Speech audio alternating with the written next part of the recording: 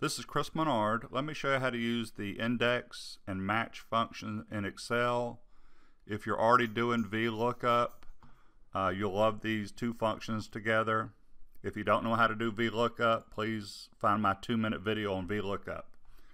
So you can set this up from scratch. Start Excel, type in this information, put in the word product, and I want to look up product B equals match B7 there's my range.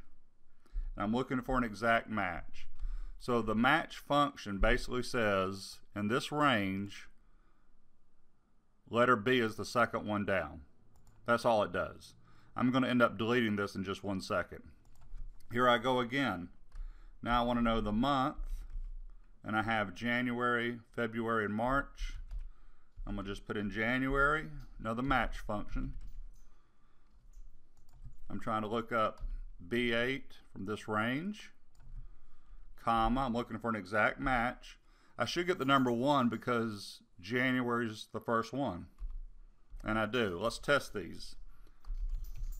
February, letter C is working. Once again, I'm going to end up getting rid of these two functions over here in just one second. So if you know how to do a VLOOKUP, a VLOOKUP will only look up from the far left-hand column. But I want to figure out for the month of February, for product C, what is the value, which is 13. So we're going to use the match function with the index function. So this is what VLOOKUP will not do equals index is basically what range are you looking in, comma, col row number is going to be that match function. It's the function we just did a second ago. Comma 0. Close that, comma. I'm still in the index function now. Now it's asking for the column Again, it's the match function.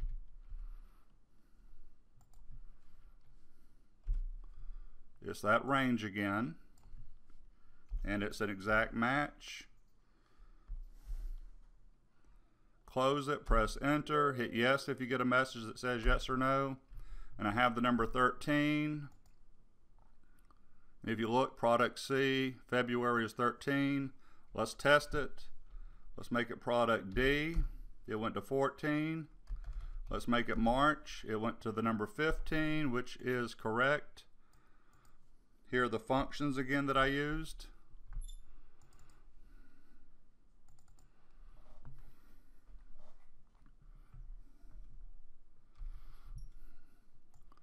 And when you're done, you can get rid of these two. And if you know how to do a data validation, which I have a video on, you can make these data validations in cell B7 and B8. And I'll do one real quick. This is going to be data, data validation. I'm going to make it a list. My source is this range right here. Hit OK. So now when I click here, there's a data validation list. But I have two videos on data validation.